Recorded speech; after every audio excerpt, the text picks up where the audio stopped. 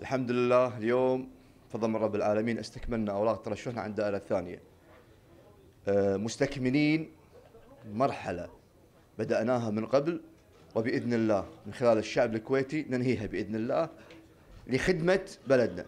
اليوم يا أخوان قاعدين نشوف مدى العبث أو الإحباط اللي قاعد يعيش الشعب الكويتي. لذلك اليوم من غير المقبول أن يتم إرهاق الشعب الكويتي من خلال الحل ومن ثم التعليق ومن ثم الحل ومن ثم التهديد بالبطلان ومن ثم بث الإشاعات وبالأخير يخلون الشعب يراجع أموره ويحاولون يمسون آخر مفخرة له اللي هي الدستور.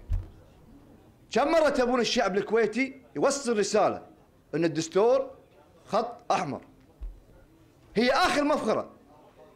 اليوم لا يمكن لا نملك مفخرة معمارية ولا مفخرة اقتصادية ولا مفخرة رياضية ولا صحية ولا تعليمية.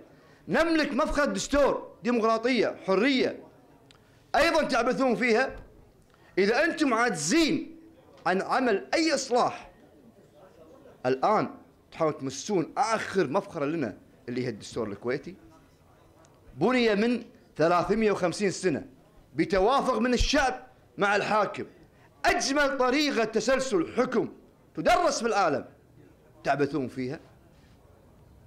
بث الإشاعات من خلال سحب موضوع الجنسية ومن ثم ترك الأمر للشارع. إذا كان هناك ناطق رسمي للدولة هل من المعقول أن يتم ترك الأمر بهذا الشكل؟ تمزيق المجتمع الكويتي؟ شنو الهدف منه؟ وعندك اليوم الغزو رسالة واضحة. الشعب متماسك.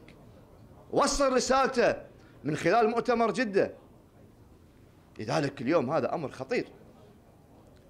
إذا كان هناك ناطق رسمي للدولة يجب أن ينفي أي إشاعة تبث من خلال التواصل الاجتماعي.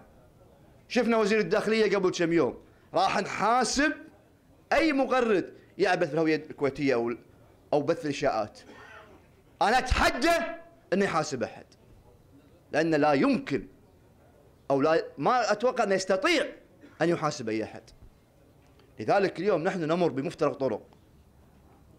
وما عندنا أي رسالة نوصلها للشعب الكويتي إلا نقول التفاؤل. لا يحاولون يسعون لإرهاقنا لأن الشعب الكويتي وقت الجد راح تلقاه موجود. إذا كانت الحكومة اليوم تحاول إرهاق الشعب من خلال اختيار أوقات عليها علامات استفهام بالانتخاب ومراهنة في عدم المشاركة. شفنا بكورونا المشاركة قريب السبعين 70% وباء ولكن الكويت شاركوا. لذلك هذا الأمر خطير. يا أخوان اليوم نتكلم من داخل البرلمان. أنا أملك خطين.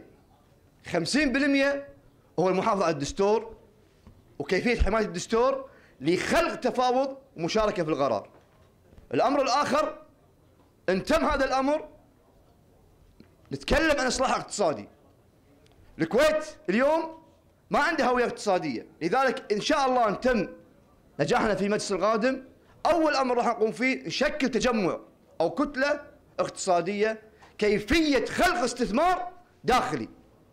إحنا نقدر خارجيا مميزين أول دولة في العالم شكلت صندوق سيادي. لحماية الأجيال القادمة الكويت سنة 53 إذا إحنا عندنا قدرة أن نستثمر خارجيا ولكن داخليا لا نملك أي أمر. لذلك نشكل كتلة أو تجمع لإجبار الحكومة في كيفية خلق فرص استثمارية داخل الكويت. السعودية اليوم طموحها يكون عندها 500 شركة رئيسية لأن قاعد تقول حق الناس أنا أكبر مستهلك في المنطقة. وتفرض عليهم أمر واقع. والإمارات اليوم قاعد تحاول توصل ل 400 الكويت كان عندها 13 شركة رئيسية يا إخوان فقط والآن سبعة. اذا في انحدار. لذلك إذا كنا زينين بالسياسة أو نتكلم سياسة أو إحنا ككويتيين نقدر نعالج أي قضية سياسية أيضا اليوم لازم نتكلم اقتصادي شوي.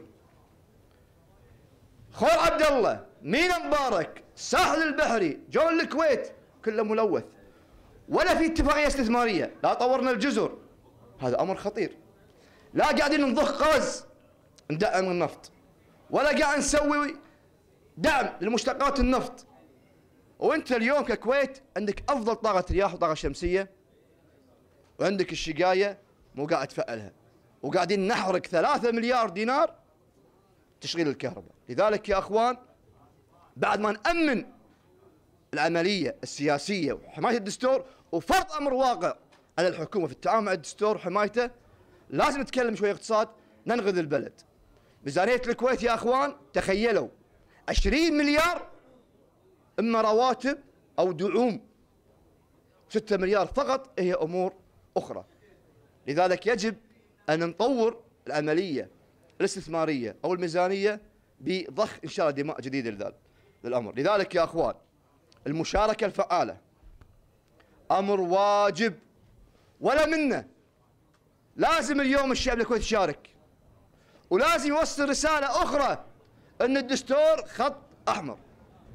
هذا أملنا فيكم وبإذن الله إن شاء الله متوكلين من خلال إرادة الشعب الكويتي وإن شاء الله بإذن الله راح نوصل رسالة بإذن الله نقول فيها أن اليوم الكويت بإذن الله قادر للتفاؤل ولبناء الأمل بإذن الله.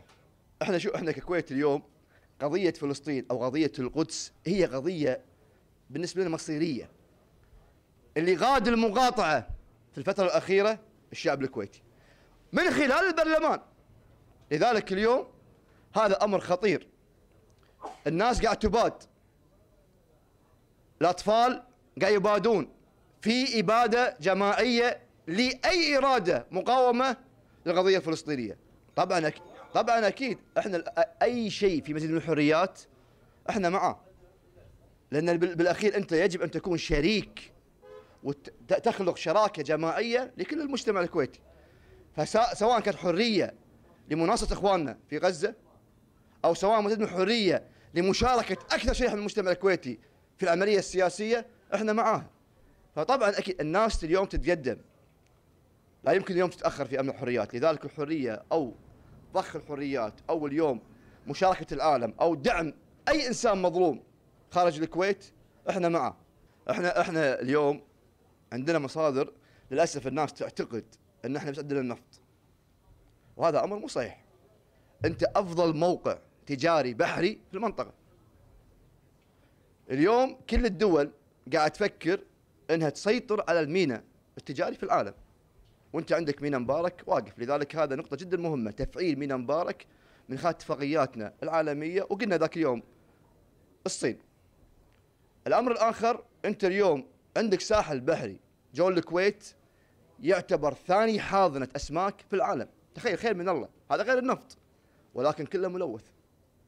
إذا كان عندنا هيئة للبيئة وجب أن تنظف هذا التلوث وتستفيد من الثروة اللي عندك. وكلنا شفنا إن الكويت قبل النفط عاشت من خلال ممرها البحري أو ممرها الصحراوي. الأمر الآخر لازم تكون حاضنة لطاقة الشمس الطاقه الشمسيه وطاقة الرياح تساعدك في تشغيل الكهرباء وتوفر لك مال أيضا لازم نكون مصدرين للغاز ومشتقات النفط. إحنا ما قاعد نتكلم نفط قاعد نتكلم عن شيء يدخل لنا الدولة. أيضا ميزانية الكويت لازم ندعمها من الخارج. ودايعنا في الخارج في أوروبا فقط 250 مليار. تخيل بذات عائد 3% بس وين قاعد تروح؟ ما إحنا عارفين. إذا دعمنا 1% 1.5% داخل الميزانية نقدر هني نزيد دخل الفرد. يا أخوان لما نقول زيادة الرواتب إحنا مو قاعد نغازل الناخب. ولا قاعد نحرك مشاعره.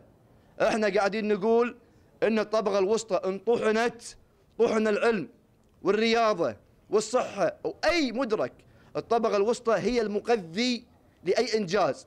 لذلك اليوم يا أخوان إحنا بنزيد الرواتب لحماية الطبقة الوسطى. الدول كيف تنهار؟ لأن يكون في غني وفي فقير. لما يكون في عندك دخل محدود أمر خطير. رب الأسرة راح يهمل أبنائه راح يهمل علمهم راح يهمل صحتهم. وهذا أمر غير مقبول. مو معقول الكويت من 2006 ولا زيادة. علاوة الأبناء من 92 التضخم زاد 220% والراتب زاد بمعدل كل سنة 1% يعني 20% يعني كل رب أسرة تحمل خلال 20 سنة 200% زيادة. هذه أرقام ترى حكومية. أرقام حكومية. فبالأخير أكيد لما نشوف عندك انتشار في المخدرات لأن رب الأسرة عجز من إعالة أسرته.